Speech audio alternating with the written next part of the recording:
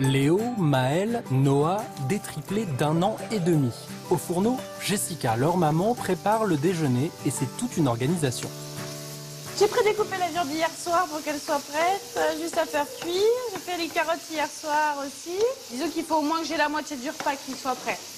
Euh, là, ça va, ils attendent parce qu'ils ont, ils ont bien fait la collation ce matin, mais des fois j'arrive et puis ils hurlent pour manger. et, euh, Comme deux fois par semaine au minimum, Chantal est venue prêter main forte à sa fille. À table s'ajoute Timéo, le grand frère de deux ans et demi, et c'est vite la pagaille.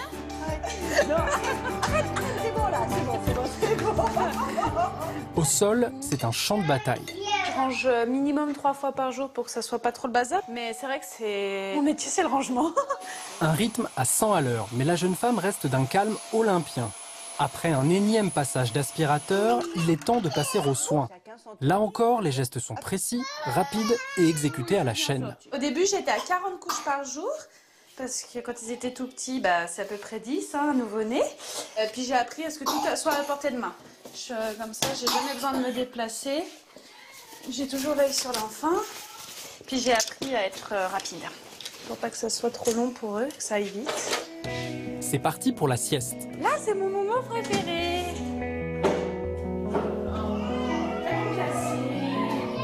Un moment où Jessica peut enfin souffler. Elle en profite pour se remémorer la grossesse des triplés. Donc, première euh, écho de datation, il n'y en avait qu'un seul. Et à l'écho du premier trimestre, et ben là, elle nous dit Oh, félicitations, c'est des jumeaux. Donc, on a attendu deux petits jumeaux. Donc, euh, bon, bah, des jumeaux. euh, sportifs, Timéo n'ayant que 7 mois hein, à l'époque. Et au bout de la deux ou troisième échographie de jumeaux, euh, l'échographe est devenue toute blanche. Je me suis dit, bon, bah, on en a peut-être perdu un. Elle dit, non, c'est le contraire. Alors, j'ai pas compris.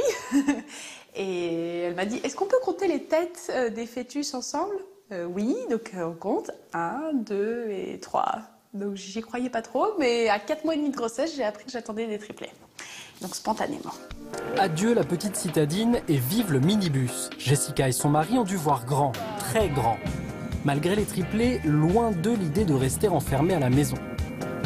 J'ai une activité tous les matins de planifier avec eux. Comme ça, ils savent qu'ils sortent.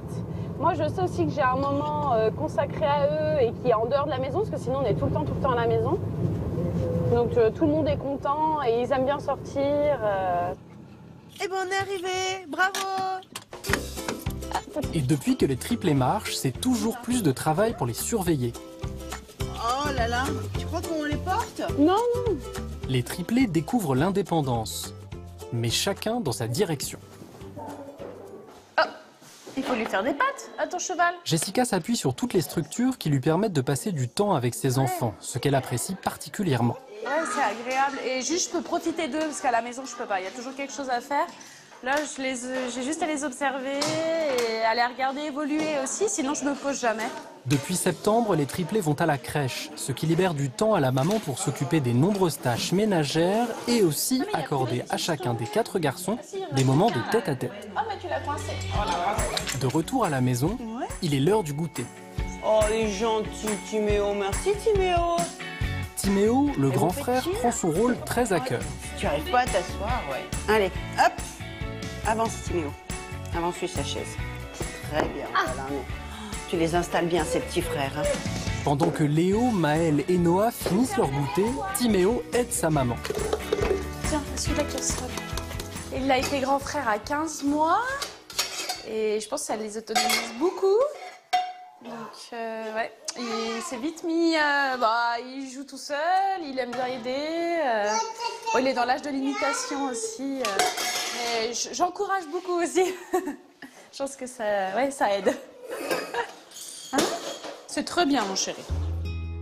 Des triplés, un bouleversement et une grande aventure pour cette famille qui n'a peut-être pas fini de s'agrandir.